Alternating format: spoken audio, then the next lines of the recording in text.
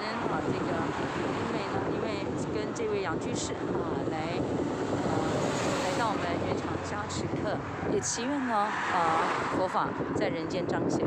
那我们现在呢啊所有的常住法师啊，我们也是呃透过善心善念，他们也都是一路跟着我们啊，能够多为这个地球尽一份心。最重要就是透过念佛号啊念佛号。就我们呃一直以来呢，秉持的这份单纯的善心，无非就是要让我们能够在这个当下当中，能够学会学会善心善念。